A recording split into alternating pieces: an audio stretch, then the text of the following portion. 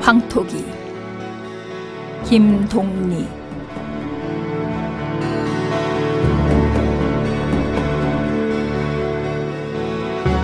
네 이놈 그 새뼈 같은 주먹으로 저 산을 한번 울려 세워봐라. 여섯 번 일곱 번. 득보는 몇 번이든지 늘 마찬가지. 내 한 주먹 번뜩하면을 되풀이하며 뛰어들어서 억수의 면상과 목과 가슴과 허리를 힘껏 지르는 것이었으나 그때마다 억수는 간단한 몸짓으로 그것을 받아내었을 뿐 적극적으로 득보에게 주먹질을 시작하지는 않았다. 그는 이렇게 득보에게 같이 주먹질하지 않고 그냥 얻어맞기만 하는 것이 그지없이 즐겁고 만족한 모양으로 상반신이 거진 피투성이가 되도록 종시 큰 소리로 껄껄껄 홍소만을 터트리고 서 있는 것이었다. 득보는 더욱 힘이 솟아오르는 듯 주먹질과 함께 발길질도 시작하는 것이었다. 득보의 발길이 번번이 억수의 아랫배와 넓적다리 즈음에 와닿는 것으로 보아 그 겨냥이 무엇이라는 것을 억수에도 곧 짐작하였고 그래서 그의 발길만은 조심하지 않을 수 없었다. 옛날도 그 옛날에 풍세란 새가 있었나니 주기역 삼천리 닐릴 시구야 지화자자 저절시구 득보는 입에 하나 가득 찬 픽업품을 문 채 이렇게 목청을 뽑으며 덩실거리고 춤을 추는 것이었다. 억쇠는 피로 물든 장승처럼 뻣뻣이 서서 뛰어들어온 득보의 주먹질과 발길을 받아낼 뿐이었다.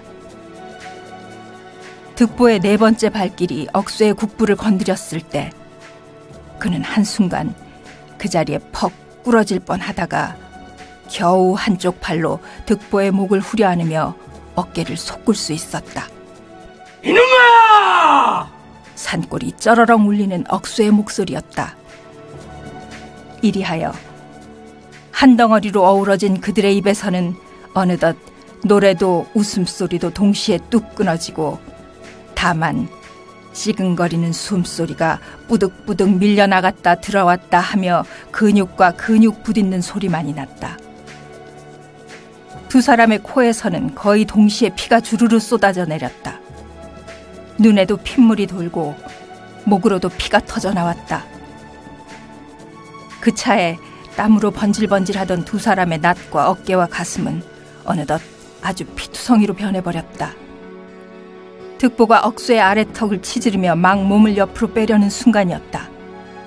억수의 힘을 다한 바른편 주먹이 득보의 왼쪽 갈비뼈 밑에 벼락을 쳤다. 갈비뼈 밑에 억수의 모진 주먹을 맞은 득보는 갑자기 얼굴이 아주 잿빛이 되어 뒤로 비실비실 몇 걸음 물러나가다 그대로 모래 위에 꼬부라져 버린다. 억수의 목과 입과 코에서도 다시 피가 쏟아졌다. 그는 정신 나간 사람처럼 두 손으로 아래 턱을 받쳐 피를 받으며 우두커니 앉아 있다 말고 돌연히 미친 것처럼 뛰어 일어나는 길로 또 한 번 와락 득보에게로 달려들어 쓰러져 있는 그의 바른편 어깨를 물어떼었다. 어깨에 살이 떨어지며 시뻘건 피가 팔꿈치까지 주르르 흘러내리자 득보는 몸을 좀 꿈쩍이었으나 역시 일어나지 못한 채 그대로 뻗어 누워 있는 것이었다.